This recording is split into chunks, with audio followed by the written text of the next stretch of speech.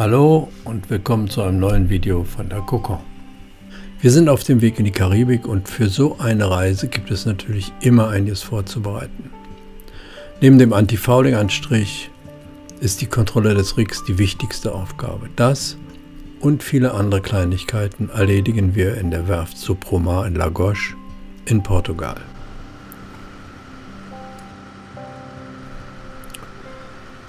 Jetzt wird bei uns oben am Mast gearbeitet,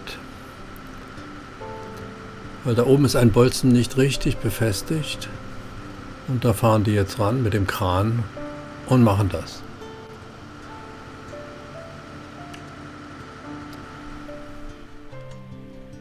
Am 7. November sind wir fertig. Wir waren vier Wochen in der Werft, haben viele Arbeiten gemacht, beziehungsweise machen lassen, kleinere, größere, natürlich das Unterwasserschiff, haben einen neuen Spinnakerbaum etc. Und heute legen wir ab Richtung Porto Santo, danach Madeira, jetzt erst einmal 450 Seemeilen. Der Wind ist relativ schwach, kommt aus Norden und äh, schiebt uns normalerweise ganz gut darunter. So, jetzt legen wir für die nächste Zeit das letzte Mal ab. Hier in Portimao, schöner Hafen. mit dem Hotel hier oben. Der Ankerplatz vor Portimao ist relativ voll. Ich glaube, da warten viele drauf, dass sie nach Süden fahren. Nach 30 oder 40 Meilen, also direkt am Dampfertreck, mussten wir umdrehen. Warum haben wir das gemacht? Der Motor kam nicht auf Drehzahl. Ich konnte nicht Gas geben und der hat das Gas nicht angenommen, beziehungsweise er ist einfach mit der Drehzahl nicht hochgekommen. Wir konnten keine Geschwindigkeit laufen. Wir sind also umgedreht, wieder zurück nach Lagos. Dort hat sich ein Motorspezialist die Sache angeguckt und hat festgestellt, dass nach dem Dieselfilter und vor der Einspritzpumpe irgendwie Luft in die Leitung kommt. Das hat er beseitigt und wir können wieder loslegen. Es ist jetzt 14 Uhr nachmittags. Wir haben da 25 Meilen gemacht. Wir sind jetzt eingetaucht ins äh, VTG, ins Verkehrstrennungsgebiet. Und erstaunlicherweise können wir segeln immer so mit 4, 4,5 Knoten. Weil vorausgesagt war eigentlich Laute. Kleines bisschen mehr Wind wäre schön. Wir haben jetzt Ostwind, 9 Knoten, so Raumwind mit 9 Knoten und dass wir dann 4,5 Knoten laufen, ist eigentlich erstaunlich. Aber es ist ganz ruhig an Bord. Für die Nacht stellen wir oft einen Alarmsektor im Radar ein, der ist aktiv zwischen eineinhalb Meilen und fünf Meilen oder sechs Meilen, je nachdem. Der innere Bereich anderthalb Meilen wird ausgespart, weil dort oftmals Wellen sind, die das Bild stören. Und man sieht hier links auf dem Bild einen Frachter mit seinem AIS-Signal, das ist das grüne, und mit seinem Radarsignal, die sich überlappen. Das ist dieser breitere Streifen. Offenbar haben wir nicht an alles gedacht bei unseren Vorbereitungen, weil die Gasflasche, die angeschlossen war, ist leer. Wir müssen sie also austauschen gegen eine Flasche, die wir in Ersatz haben und das in Fahrt. Hinten etwas schwierig ranzukommen an das Gasfach. Das ist nicht so einfach, aber irgendwie wird es gehen.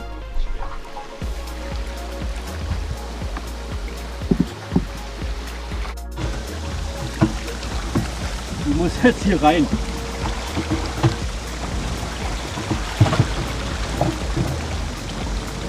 Schon drin. Sehr gut.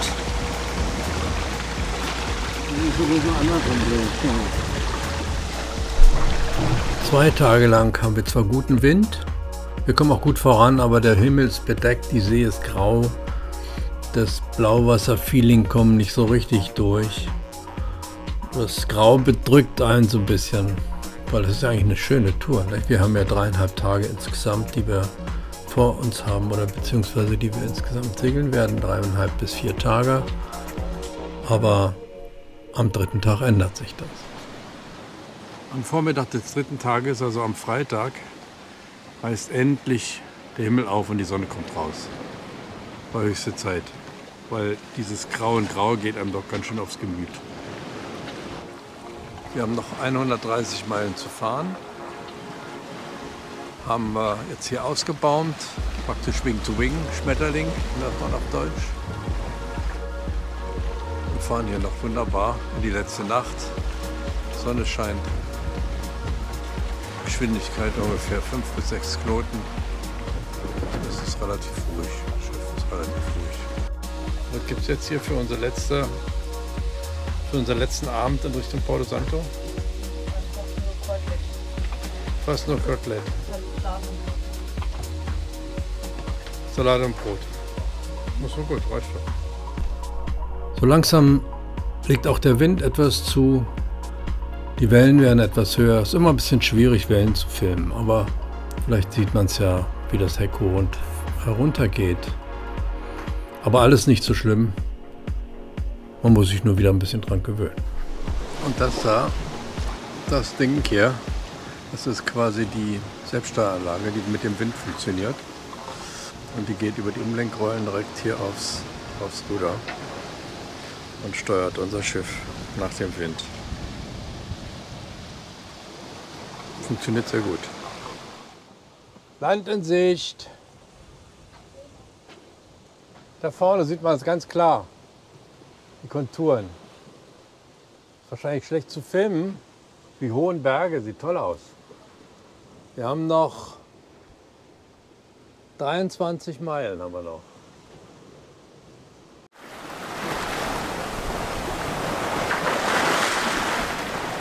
Das ist jetzt die Ilia de Sima, kurz bevor wir jetzt nach rechts abbiegen. Jetzt wird es deutlich ruhiger hier, ne? die Welle. Da kommt vielleicht noch mal ein bisschen was zwischen den Inseln durch, aber eigentlich wahrscheinlich nicht. Vorne ist der Hafen. Noch anderthalb Meilen. Oder sind wir da?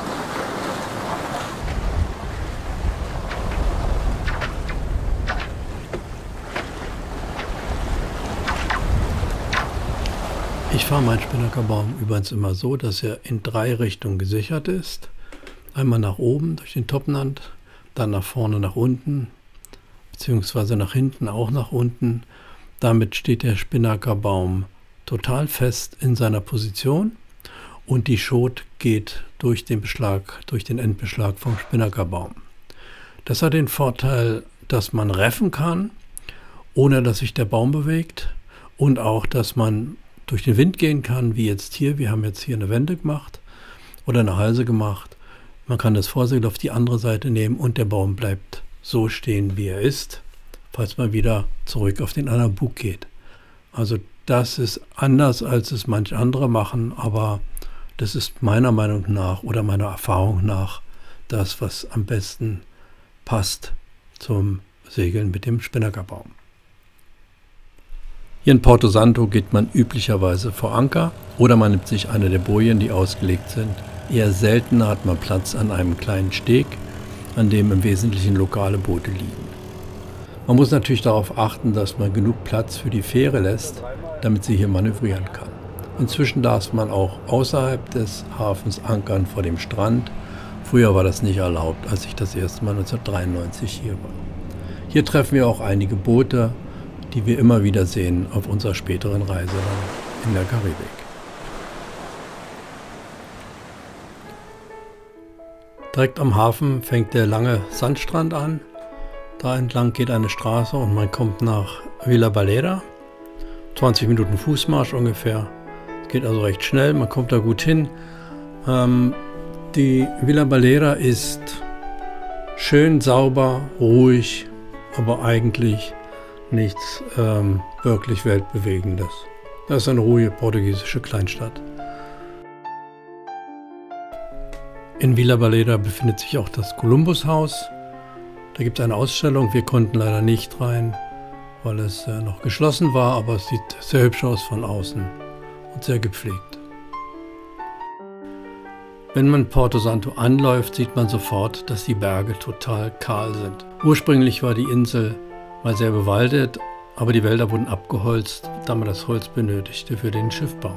Antonio Baun de Sousa hat sich in seinem Lebenswerk damit beschäftigt, diese Wälder wieder aufzuforsten ähm, und hat es wirklich geschafft, das, was an vielen Stellen später auch nicht geschafft wurde, einen Teil der Wälder langsam wieder aufzuforsten, indem er jede Pflanze einzeln eingesetzt hat, dann mit einem kleinen Mäuerchen umgeben. Das hat diesen Wald langsam wieder wachsen lassen. Also irgendwann wird hoffentlich diese Insel auch wieder grün werden.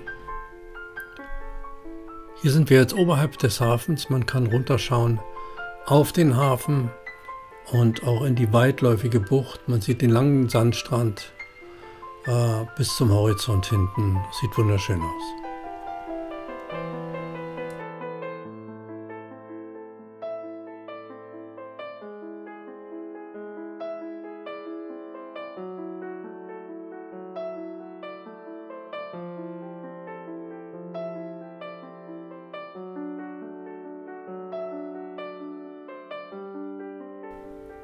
Nach ein paar Tagen fahren wir weiter von Porto Santo zur Hauptinsel des Archipels nach äh, Madeira.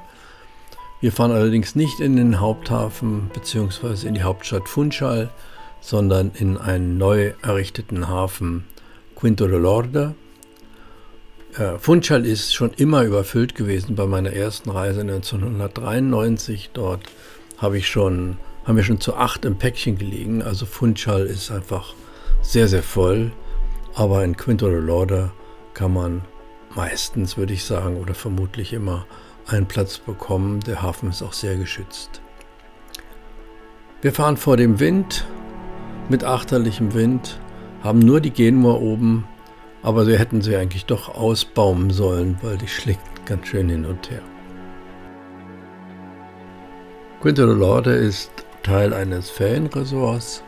Man liegt hier direkt neben einem kahlen Berg zunächst einmal. Der sieht sehr beeindruckend aus, weil die Felsen sind sehr, sehr hoch und äh, nicht begrünt oder beziehungsweise entsprechend abgeholzt worden, früher wahrscheinlich. Ähm, der Hafen liegt aber sehr geschützt und es gibt auch vermutlich immer genug Platz.